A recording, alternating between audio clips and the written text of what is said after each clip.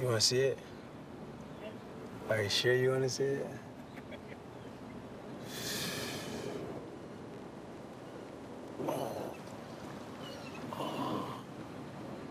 You look like you're walking a little funny. Yeah, my feet is pretty much getting circumcised, right?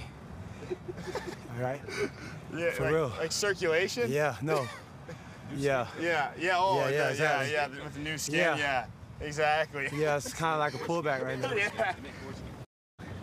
Yeah, I got circumcised on my feet, you know. Hopefully my feet born again and I freaking can run faster. Feel sorry for me later. Thank you.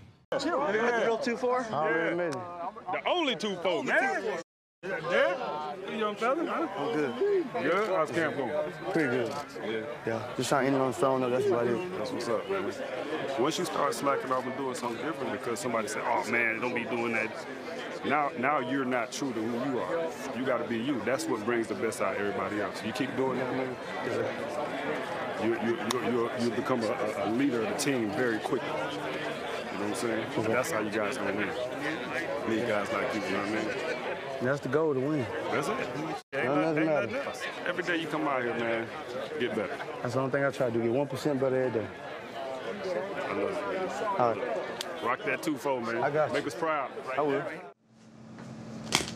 Sean McVay came my last year as the head coach in Tampa. He wanted to get in the NFL, so we made him a secretary, really, just to get him in the building. McVay started like I started. They called me the piss boy in the Mel Brooks movie.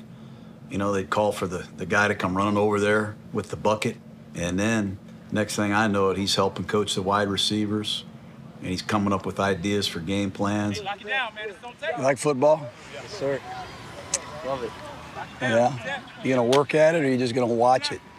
Just scratching yourself, watching TV, listening to all the commentary out there. There's a lot of that. Yes, sir.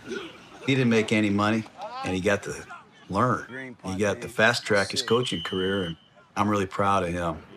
What the heck is going on, man? How you doing? Good. You? Good to see you. It's a nice color you got there, man. Nice color you Yeah, I got. Yep, yep.